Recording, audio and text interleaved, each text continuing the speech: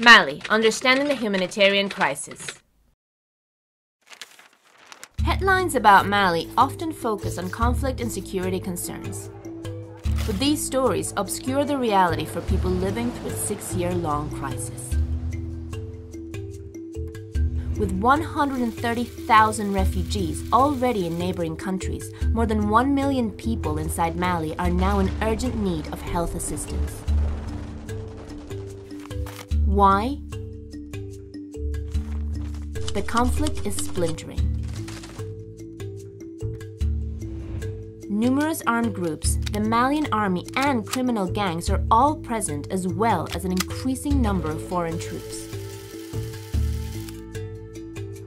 In many areas, health workers have fled or are unable to go to work, and health facilities are abandoned.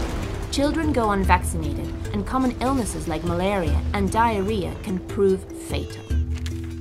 Why? People cannot move freely.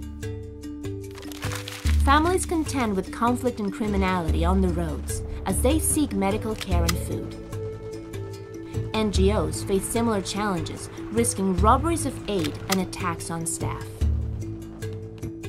In isolated communities, malnutrition is at critical levels, with over 15% of children acutely malnourished, while women give birth far from medical help.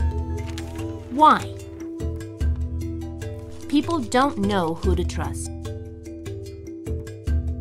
Military actors occasionally deliver aid in order to gain the trust of the community. Imagine if aid was delivered to you by a mixture of military and humanitarian groups. How would you know who to trust? The need for humanitarian aid in Mali is increasingly urgent. It's not the headlines, it's the people that matter. Find out how MSF is helping.